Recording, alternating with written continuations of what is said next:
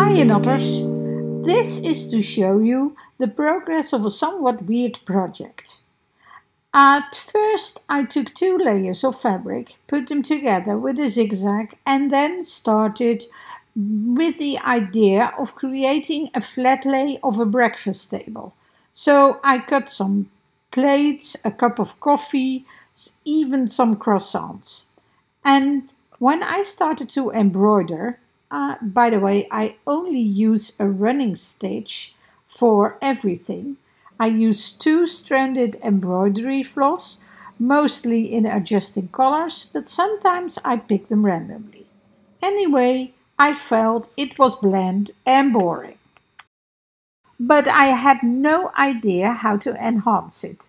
Then I came across the prompts for um, hashtag seek, gather, and create. Seek, gather, create, an Instagram challenge for mixed media makers.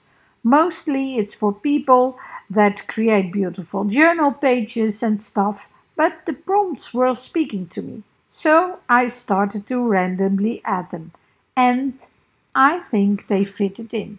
The bear, the pebbles, the wildflowers, even though I put them in the orange juice. It's random, but it feels good. I feel very random too at the moment. One moment I'm sad, the next moment I feel happy, and then the other moment I'm feeling hopeless or even hopeful. Menopause is such a roller coaster at times. The good thing is that I don't need to go to the fair to experience that roller coaster. I can just be sitting on my couch and embroider. Well, I hope you enjoyed this peek in my random project, as it is giving me a lot of joy. Creating is giving me the opportunity to feel and heal.